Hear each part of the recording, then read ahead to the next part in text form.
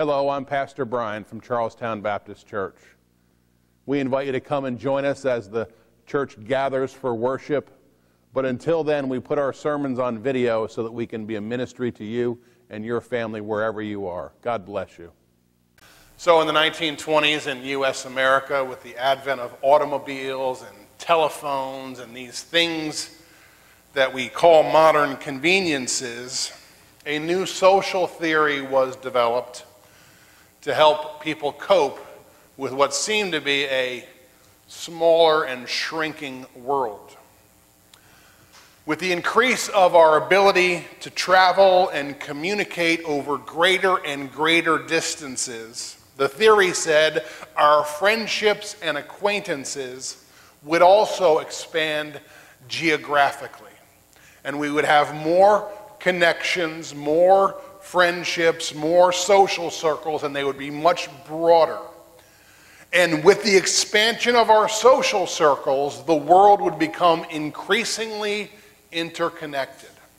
And I think that theory has held up over the past hundred years. I think we can see that we have friendships, relationships over further and further distances. Personally, I've got friends all across the United States. Many of you do as well. Because I've traveled some, I've met a lot of people along the way. And even if you haven't traveled, you know somebody who has traveled and has relationships far and wide. The people you know know others. And then turn those people know others, and they know others. And that whole friend of a friend of a friend thing means that we are all interconnected in a very large web of interpersonal relationships. The theory is popularly known as six degrees of separation. And the gist of that says that nobody is any more than six personal relationships from anybody else. Now, whether that's exactly six or seven or eight, I don't know. It's nearly impossible to prove. But the principle holds up. The people you know know other people who know other people. And in that way, we are all intertwined in a tremendous network of personal relationships. So think about that fact for a minute. Think about this web of relationships that we all live in and tie that thought with these principles of grace and truth and mercy and hope that the Bible talks about regularly. Who are we, who are we supposed to be? How ought we live? And what ought we do to make the world a better place? How can I live my life in such a way as to have a positive impact in my community and on the kingdom of God? We're all connected, and we, are, have, a, we have a high and holy calling to live above the mess. The Bible is full of instruction about how we ought to treat one another, and it speaks time and time again kindness and mercy and grace and forgiveness and love and restoration and all these principles. And we know it's hard, but we're still called to it. That's who we're supposed to be. And our transformation ought to so impact those around us that we start a movement, that we start a wave like ripples in the pond that impacts the entire world. I want to show you a couple of things that perhaps can help us see it in a new way. Excuse me. I, my throat, my voice may not make it to the end of this. In fact, sorry. So, a couple of weeks ago, I refinished the dining room table at our house. We've had that table for maybe 20 years, and it was kind of dull and kind of scratched, and it looked like looked like somebody had been eating off it for 20 years. So it was time. So I got some of this. Klean-Strip Premium Furniture Stripper. and I poured it on the table. I'm not going to do that to the pulpit. The trustees would have a heart attack. And I get a brush and you spread it out. You put a nice thick coat on the furniture. And you wait about 15 minutes and you get your putty knife and the finish, the, the shiny bit, it just peels right off. And you scrape and you scrape and you scrape, and you can take the whole layer of your varnish or urethane or whatever it is, peels it right off. It all goes away. You probably want to wear gloves when you do that. Because what this does to your furniture, it will also do to your skin if you leave it on there for too long. It is very caustic, a caustic product. So after the tabletop was all stripped off and I got the sandpaper and sand, sand, sand, sand, sand for hours on end, then I got some of this. Minwax fast drying polyurethane. Put three or four nice smooth coats of this on, sand it smooth, polish it up, and it makes a beautiful hard surface on the wood. It brings out all the beauty in the grains. This is a constructive product. It builds up the layer. So it's nice and durable. This is a destructive product. It takes away. So, my question for you, my friends which are you? Which are you? Are you caustic or are you constructive? We're going to go to the Bible in Romans chapter 12. Romans is a fascinating book. The first 11 chapters of Romans is great theology, and Paul talks a lot of good explanation about the whys and hows of our salvation. And he talks about sin and grace. He talks about the nature of God, the love of God, the person of Jesus Christ. He talks about how all this is by faith, and by faith it is accounted to us as righteousness. And by faith in Christ alone, we receive all that God has in store for us. That's the first 11 chapters. And then at chapter 12, he makes a sharp right hand turn and goes in a whole new direction. And it's no longer the theological or the conceptual, but it becomes very practical. The day in and day out of how we ought to live and who we ought to be in order to practice this transformation. We have that profound statement in verse 2 Don't be conformed to the world, but be transformed by the renewing of your mind, so that you would prove and demonstrate and show the world what the good and acceptable and perfect will of God is. And if we think about God's big plan for redemption in this world, God's desire to see humanity know Him and be saved, you and I are connected in this web of relationships. You and I have influence in the world to some extent. And as we practice transformation, that makes a difference in the life of my neighbor. And then my neighbor's life becomes transformed, and that makes a difference in his neighbor's life.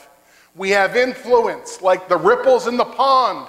The one stone drops in, and it spreads out all across.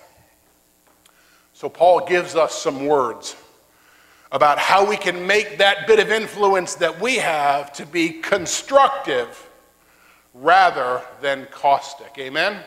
We're going to begin at verse 9, go through verse 13. Would you stand, please, that we would honor the reading of God's word? Let love be without hypocrisy. Abhor what is evil, cling to what is good.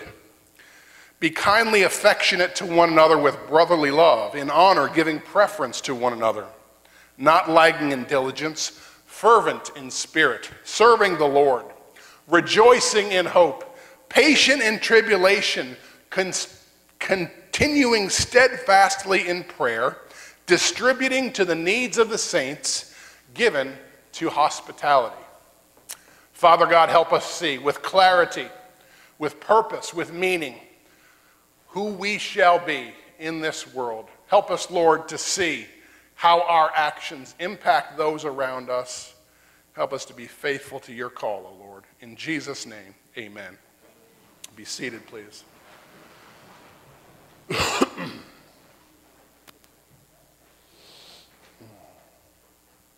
We are all in this together. We are all here together. In your family, you're connected. In our church, in our workplace, in our schools, in our community, we're in it together. We are related through these network of, of friendships and acquaintances. We need that.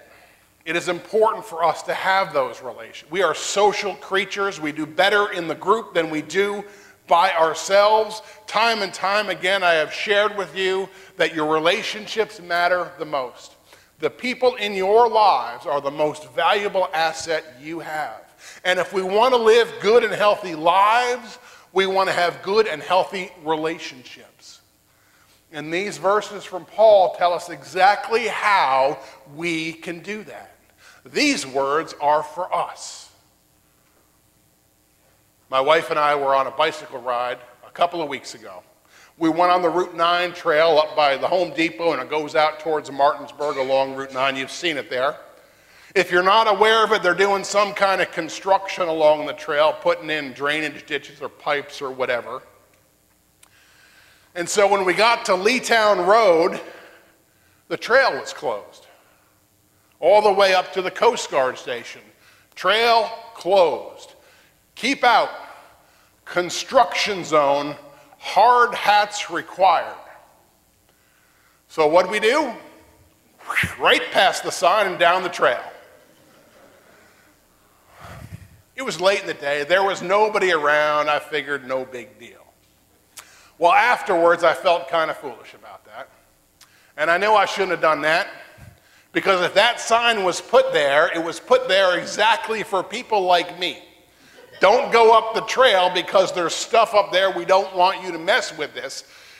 Keep out. This means you probably not the best sermon illustration to tell you how I disobeyed to try to get you all to obey.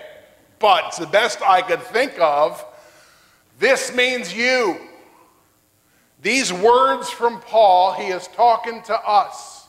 And we have no right to exempt ourselves or give ourselves a free pass. Well, I'm not doing that because it's hard. We got to do these things because our lives have impact and our actions have impact in the lives around us. And if we practice transformation the way we ought to, we will be very constructive in life. And if we fail to practice transformation, we're going to be caustic and toxic and destructive. Look at verse 9. Two powerful thoughts in this verse. First, about the genuine character of love, and secondly, about clinging to what is right and good and getting away from those actions that are detrimental. Let your love be without hypocrisy. Let your love be genuine, authentic, real, and true. Hypocrisy is a falseness. It is a double mindedness. It is a lack of truth and authenticity. In fact, the original word hypocrite in the original language of Greek, it was an actor on a stage. Somebody who was play acting, making it look a certain way, that was a hypocrite. Hypocritical love is the kind of love that comes with an agenda, love with an ulterior motive.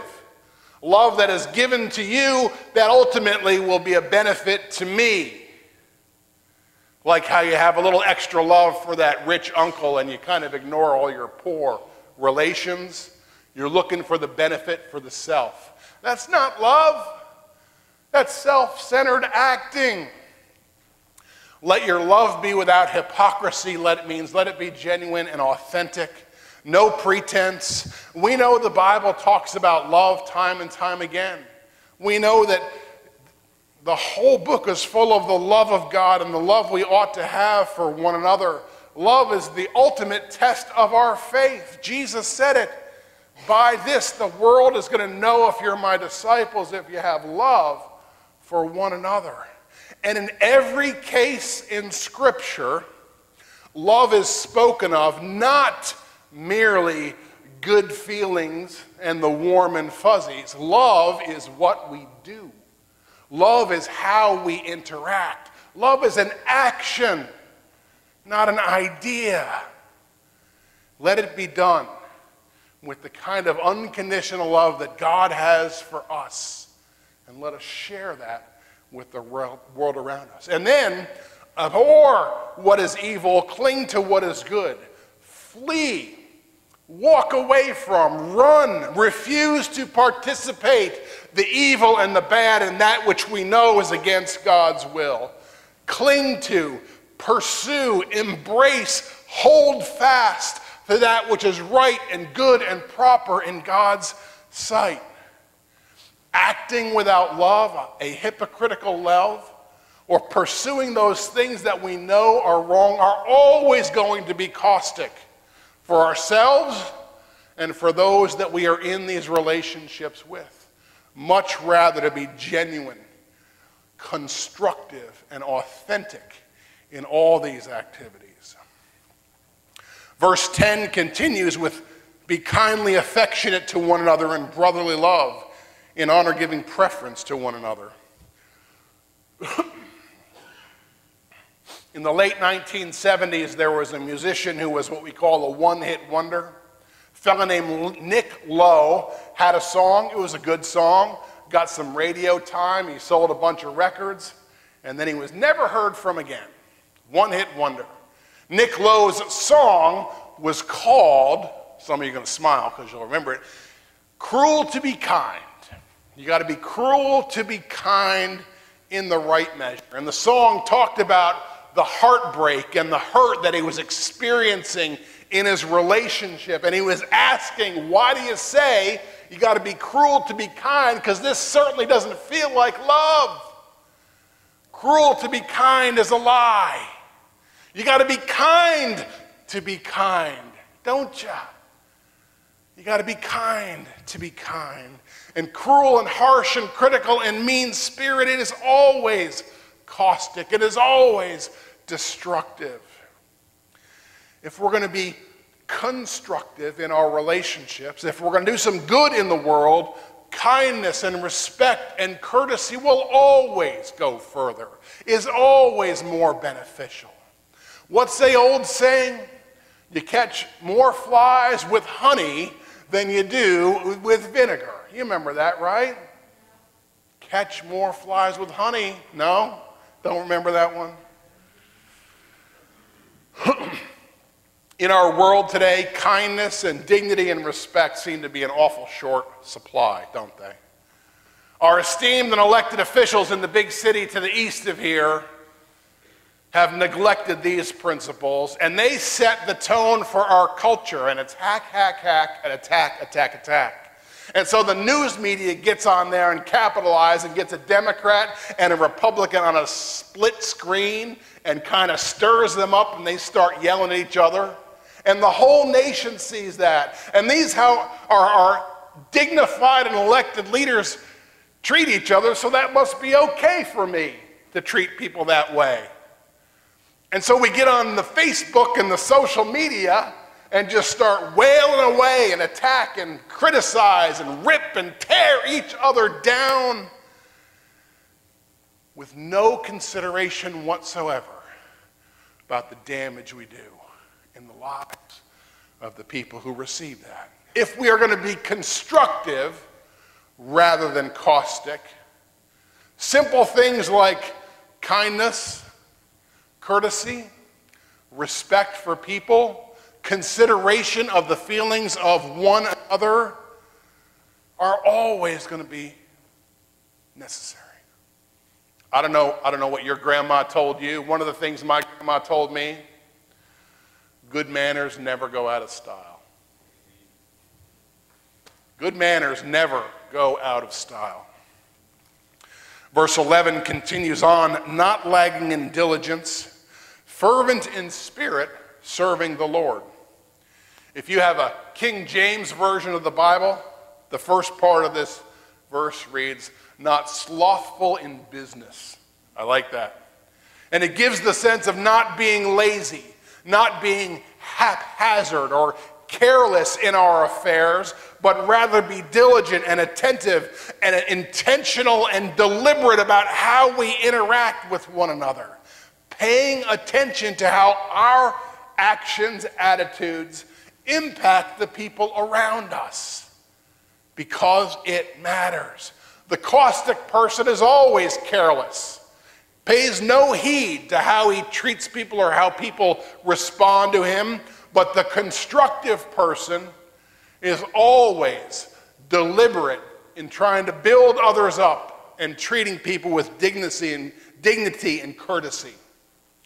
You know that human beings are the only part of creation that are created in the image of God. We created in the image of God, and that means something. We are the pinnacle of His creation. We are His most valuable possession. God loves people. And we best serve God when we serve His people and when we treat one another as special creations. And this verse is saying is, hey, pay attention. Be aware of how your actions impact the people in your circle. Two verses from 1 John amplify this. If you say that you're in the light, but you live with hate, that ain't the light. My little children, let us love not in word or tongue, but in deed and in truth. When John is talking about love or hate, he's not talking about your feelings. He's talking about what you do and how you speak to people and how you interact one to another. And if you act hatefully with meanness and spite and a cold heart, if you are destructive, that is the darkness of the world being made manifest in you. Love is always constructive. Love always seeks to bless and encourage and edify the other. Back to Romans 12, we'll look at verses 12 and 13. I see in here about four points, and I'm just going to touch them briefly rejoicing in hope, patient in tribulation, continuing steadfastly in prayer, and distributing to the needs of the saints. The whole sermon, as you have figured out, is based on the principle versus the opposite of the principle words and antonyms. Okay? the Word of God, the truth of God, the principle of God is always constructive, and the opposite of that is always destructive. How are you being constructive? How are you adding hope and, and generosity and patience? Are we building up or are we tearing down? Hope always builds up, hope always contributes. We have such a blessed hope in Christ because of this faith. We have such a hope in God and this confident expectation that He will do what He says He will do. And if we have that hope, what's the opposite? What's the antonym of hope? Despair, disbelief, doubt, pessimism. So when we interact one to another, what are you looking for in somebody else's life? Are you looking for the worst or are you looking for the best? Are you hoping that they will have all those characteristics, or are you looking for the ways that they're going to fail you? Where's your hope? We are called to patience in the difficulties, patience in the tribulations, and that calm endurance, that persevering spirit, knowing that God will be work and fulfill his plans no matter what comes our way. The caustic person, the destructive person, has a hard time with patience. He wants immediate gratification. He wants the instant answer. I want it all and I want it now. Give it to me.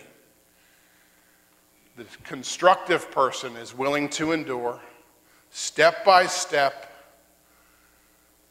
awaiting God's blessing. Paul talks about continuing steadfastly in prayer, and I was thinking about what what character trait best describes that? What in us is most prayerful? And what I came up for this sermon anyway was a spirit of humility, our prayerful reliance on God, our continual seeking after God is a confession that I cannot do it on my own. And I don't have all the answers. And I need Him, and I am helpless without Him.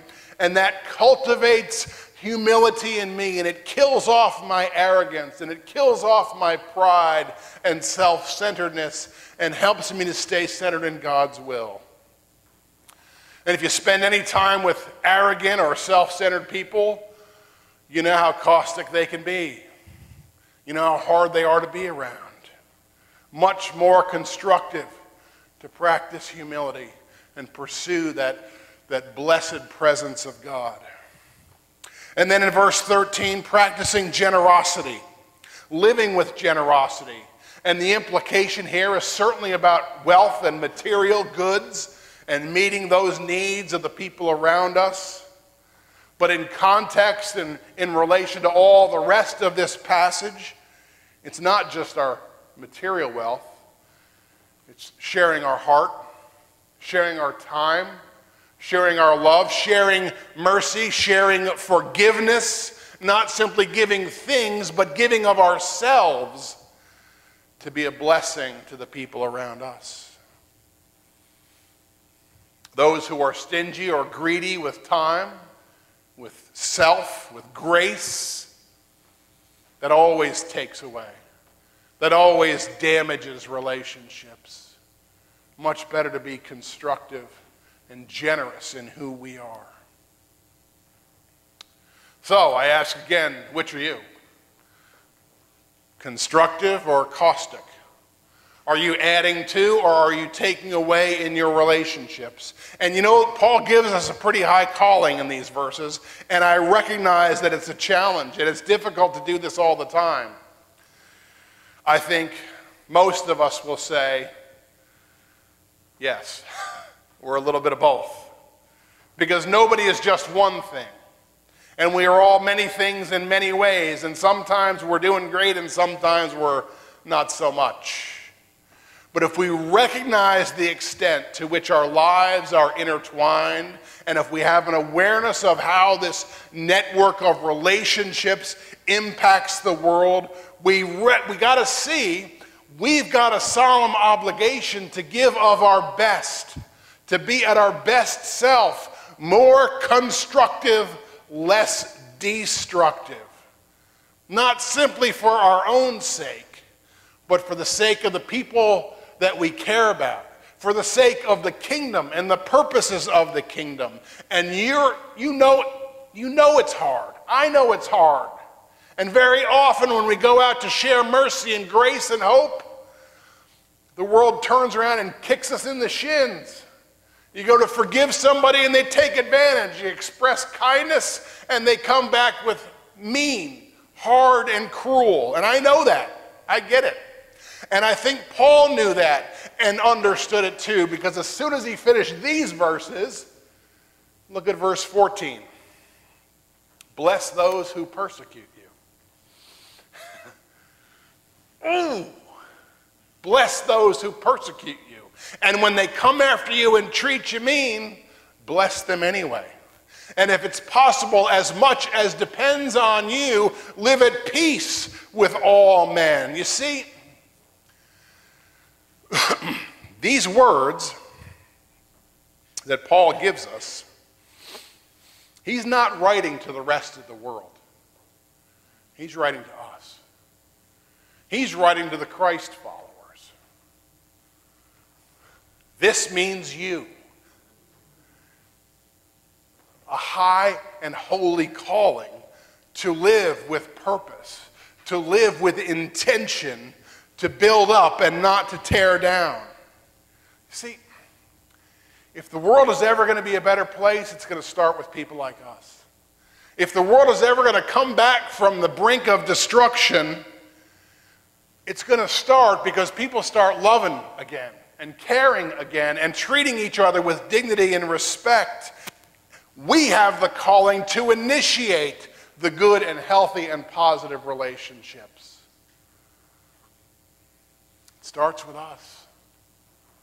And I know how hard it is. We're all interconnected. And if we buy into the idea of six degrees of separation, we realize that my transformation matters. And that, has a different, that makes a difference in my neighbor's life. And then that'll make a difference in the next life and the next life.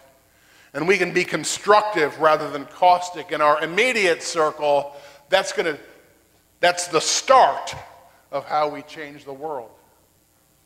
And if there's going to be any hope, if there's going to be any turning around, if God is gracious to us, He'll give us a little bit of time to enable us. So, my challenge to you today, my friends, start the movement. Start the movement, and let's build something great while we still can. Amen? Father God, we thank you for your word and your truth and your grace. And we pray your blessings to flow upon us. We pray, Lord, that we would know you, serve you. We pray, Lord, that we would be the kind of people you need us to be on this earth and that your kingdom's cause would continue on for your sake and your glory. In Jesus' name we pray. Amen. We're going to close our time together with a hymn of invitation, and as a chance for you to respond to whatever God is doing in your life. And the altar will be open for prayer for whatever you're struggling with today. I invite you to know Jesus Christ as your Savior. I invite you to confess your sins before Him receive him as your Savior, follow him as your Lord, and know what it means to be a participant in the eternal life of God. Would you stand with us, please? If you have a need, if you have a burden, you come now. My prayer that this sermon has been a blessing to you and that the Lord spoke to you through these words. We appreciate your participation. If we can be of ministry to you or your family, feel free to give us a call at the church office. 304 725 5917. We look forward to hearing from you. Until then, God bless you.